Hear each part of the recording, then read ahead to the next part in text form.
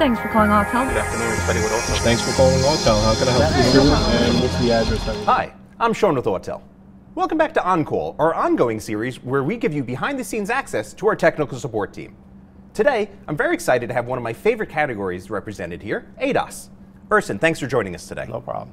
We'll start with the basics. How long have you been with Autel? Seven years with Autel. And what is your position here? I'm the ADAS Tech Support Supervisor. Okay. Now, we all know ADAS. A lot of us have it on our modern cars. It definitely makes it easier to drive, makes it safer. Yep. And we have great technology so we can service and recalibrate these systems. Correct, we do. So, any, any real issues? I mean, do you guys get any phone calls? Uh, we do. Sometimes we have issues where the tech can't find the setup.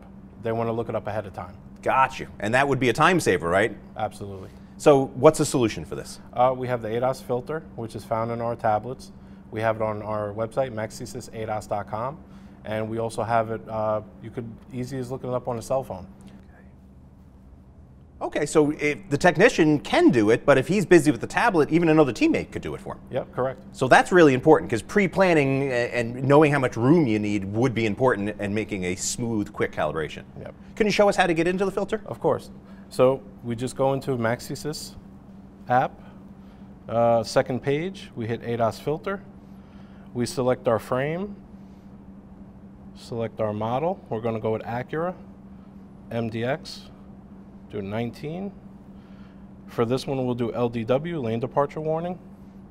And simple as that. It'll show you the target board that you need and all your measurements. Wow, so you really could be set up before your customer arrives to the appointment. Yeah, absolutely. And at that point, you're really ahead of the game. Yep. Well, that's an excellent tip, and I'm sure that everybody involved in ADAS will appreciate it because, again, it can get complicated with you know the, the various frames and things that you need. Yep. Now, important question: How do we get in touch if we get stuck on something? Uh, they can call the ADAS Tech Support line. Uh, the number is 855-288-3587, extension 3, option 5. okay, and you guys are a growing team, from what I understand. So, Uh, we are. We have a good group of technicians right now. Uh, a lot of them are ASE certified.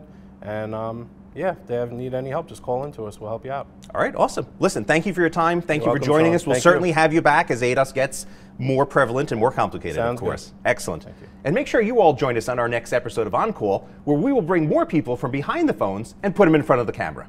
In the meantime, for information on our full family of products, visit us at autel.com.